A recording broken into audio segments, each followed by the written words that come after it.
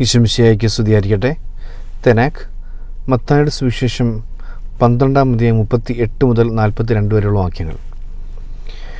യോന പ്രവാചകന്റെ അടയാളം.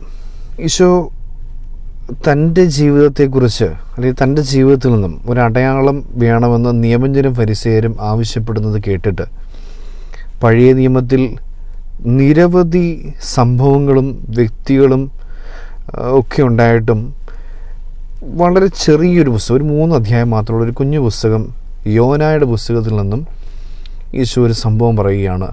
യോന പ്രവാചകൻ മൂന്ന് ദിവസം മത്സ്യത്തിന്റെ ഉദരത്തിലായിരുന്നതുപോലെ മനുഷ്യപുത്രനും മൂന്ന് രാവും പകലും ഭൂമിക്കുള്ളിലായിരിക്കും. ഇത് മാത്രമാണ് അടയാളം. ഇത് മാത്രമാണ് അടയാളം. എന്താണ് ഈ അടയാളത്തിന്റെ പ്രത്യേകത? നമുക്ക് ഒരുപാട് അർത്ഥതലങ്ങൾ ഈ അടയാളത്തിൽ നിന്ന് വായിച്ചെടുക്കാൻ സാധിക്കും. ഒരുപാട് കാര്യങ്ങൾ ഞാൻ ചിന്തിക്കുന്നത് ഇതിന് വളരെ രസകരമായൊരു സംഭവമുണ്ട്. ഒരു മീനിന്റെ ഉദരത്തിലാണ് യോന പ്രവാചനായിരുന്നത് യഥാർത്ഥത്തിൽ ആദിമസഭയിൽ മീൻ എന്നത് ക്രിസ്തുവിന്റെ പ്രതീകമായിരുന്നു. ക്രിസ്തുവിന്റെ പ്രതിരൂപമായിട്ട് ഉപയോഗിച്ചിരുന്നതാണ് മീൻ എന്ന് പറയപ്പെടുന്നത്. നമ്മൾ പല പലയാവർത്തി അതിനെക്കുറിച്ച് കണ്ടിട്ടുണ്ട്. തന്നെ വീഡിയോയിൽ പലതവണ അതിനെക്കുറിച്ച് നമ്മൾ അതിന്റെ വീഡിയോ വീഡിയോയിലൂടെ എന്റെ ചിന്തകൾ പങ്കുവച്ചിട്ടുണ്ട്. ഇക്തൂസ്. ഇക്തൂസ് എന്നാണ് ഗ്രീക്ക് ഭാഷയിൽ മീൻ എന്ന് പറയപ്പെടുന്നത്. മീൻ എന്നതിന് ഉപയോഗിക്കുന്ന വാക്ക്. അതിൽ അഞ്ച് അഞ്ച് അക്ഷരങ്ങളാണുള്ളത്. അതിൽ അഞ്ച് അക്ഷരങ്ങളുടെയും അഞ്ച് അക്ഷരങ്ങൾ എന്ന് പറയപ്പെടുന്നത് ഒരു വാക്യത്തിലെ അഞ്ച് വാക്കുകളുടെ ആദ്യത്തെ അക്ഷരങ്ങളാണ്. യേശു ക്രിസ്തു ദൈവത്തിന്റെ പുത്രനായ രക്ഷകൻ എന്ന് പറയപ്പെടുന്ന വാക്യത്തിലെ ഓരോ വാക്കിലും യേശു ക്രിസ്തു ദൈവത്തിന്റെ യേസൂസ് ക്രിസ്തുസ് ഹഗിയോസ് സോത്ത് എന്ന് പറഞ്ഞുകൊണ്ട് പറയപ്പെടുന്ന അങ്ങനെ ഒരു അഞ്ച് വാക്കുകളുണ്ട്. ഈ അഞ്ച് വാക്കുകളുടെ ആദ്യ അക്ഷരങ്ങളാണ് ഇക്തൂസ് എന്ന് പറയപ്പെടുന്നത്. അപ്പോൾ എന്നാലും നമ്മൾ പഴയ നിയമത്തിലേക്ക് വരുമ്പോൾ മീൻ വിഴുങ്ങി മീൻ യോന പ്രവചനം വിഴുങ്ങി. യോന യഥാർത്ഥത്തിൽ സാധാരണ മനുഷ്യനാണ്. സാധാരണ മനുഷ്യൻ മണ്ണിൽ നിന്നും എടുക്കപ്പെട്ട ആദത്തിന്റെ പരമ്പരയിലുള്ള മനുഷ്യൻ മണ്ണിലേക്ക് മടങ്ങിപ്പോകേണ്ട മനുഷ്യൻ മണ്ണാണ് യോന. അപ്പോൾ മത്സ്യം അല്ലെങ്കിൽ യേശുവിൻ യേശു ആകുന്ന മത്സ്യം മണ്ണാകുന്ന യോനയെ വിഴുങ്ങി. യേശു എന്ന് നമ്മൾ പഴയ നിയമത്തിൽ പറയുന്നില്ല എങ്കിൽ പോലും ദൈവമാണ് യേശുവിന്റെ പ്രതീകമായിട്ടാണ് ഒരു പ്രോട്ടോ ടൈപ്പ് ഒരു മുൻ അവതരണം എന്ന രീതിയിലാണ് നമ്മൾ ആ മീനെ കാണേണ്ടത്. ദിവ്യകാരണത്തിന്റെ മുൻ അവതരണമാണ് മന്ന എന്നൊക്കെ പറയുന്ന പോലെ. യേശു ഒരു മനുഷ്യനെ വിഴുങ്ങുന്നു. ആ രീതിയിൽ നമ്മൾ കാണേണ്ടത്. എന്താ സംഭവിക്കുന്നത്? അയാളിൽ നിന്നും അയാൾ യേശുവിൽ നിന്നും അല്ലെങ്കിൽ മത്സ്യത്തിൽ നിന്നും പുറത്തേക്ക് വന്നു കഴിയുമ്പോൾ പിന്നീട് അയാൾ പഴയപടിയല്ല. Before Christ and after Christ എന്ന് പറയുന്ന പോലെ ഈ മനുഷ്യൻ പിന്നെ വേറൊരു മനുഷ്യനായി മാറിയ. യോന തീ പിടിച്ചൊരു പ്രവാചകനായി മാറുന്നു. ഭയന്ന് പറച്ച് ഓടുന്ന മനുഷ്യനായി ആയിരുന്ന യോന തീ പിടിച്ചൊരു പ്രവാചകനായി മാറുന്നു. ഇനി നമ്മൾ പുതിയ നിയമത്തിലേക്ക് വരുമ്പോൾ ഈശോ പറയുകയാണ് മനുഷ്യപുത്രന്റെ മൂന്ന് രാവും പകലും ഭൂമി ഭൂമിയുടെ ഉള്ളറയിലായിരിക്കണം. ഇങ്ങനെയാണ് പറഞ്ഞു വയ്ക്കുക അപ്പം ഇത് എന്താണ് ഇവിടെ അർത്ഥമാക്കുന്ന അർത്ഥത്തിൽ മനുഷ്യപുത്രൻ എന്ന് വെച്ചാൽ ദൈവമാണ്.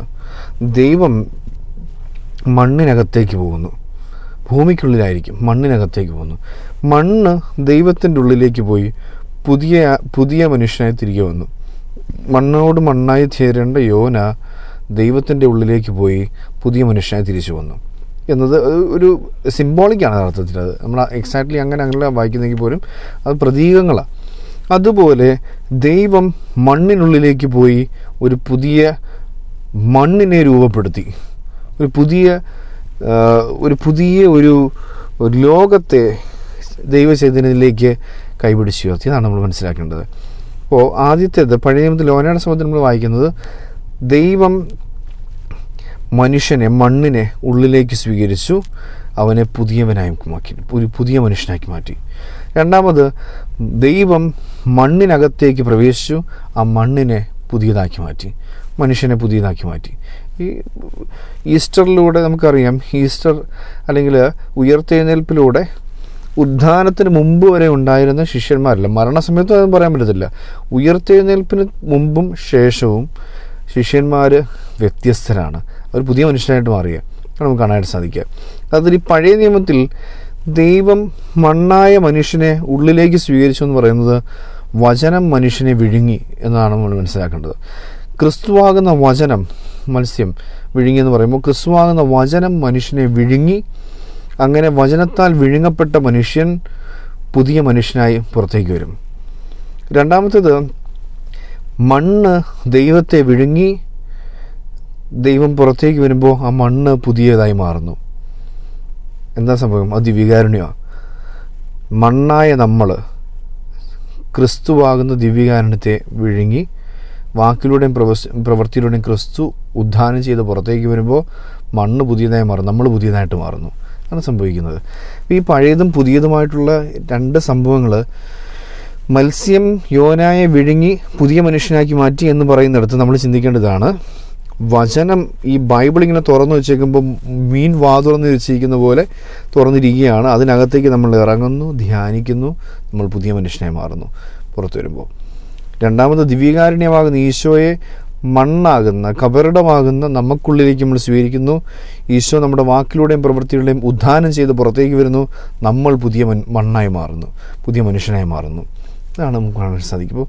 ഈ രണ്ട് പ്രതീകങ്ങളും വചനത്തിലൂടെയുള്ള നവീകരണത്തെയും കുർബാനയിലൂടെ നവീകരണത്തെയും സൂചിപ്പിക്കുന്ന രണ്ട് സംഭവങ്ങൾ. അപ്പോൾ ഈശോ പറയുകയാണ് ഇത് തന്നെയാണ് അടയാളം. ഇതിനേക്കാൾ വലിയ അടയാളമില്ല.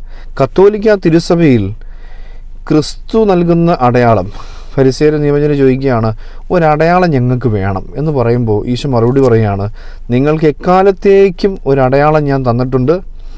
തരുന്നു. അത് എന്റെ ശിഷ്യന്മാരോട് do this in memory of me ഇതെന്റെ ഓർമ്മയ്ക്ക് ചെയ്യുമെന്ന് ഞാൻ ആജ്ഞാപിച്ചിട്ടുണ്ടെന്ന് അവരനുസരിക്കും ലോകാവസാനത്തോളം നിലനിൽക്കാൻ പോകുന്ന ക്രിസ്തുവിന്റെ രണ്ട് അടയാളങ്ങൾ വചനം നിന്നെ വിഴുങ്ങും നീ പുതിയ മനുഷ്യനായി മാറും.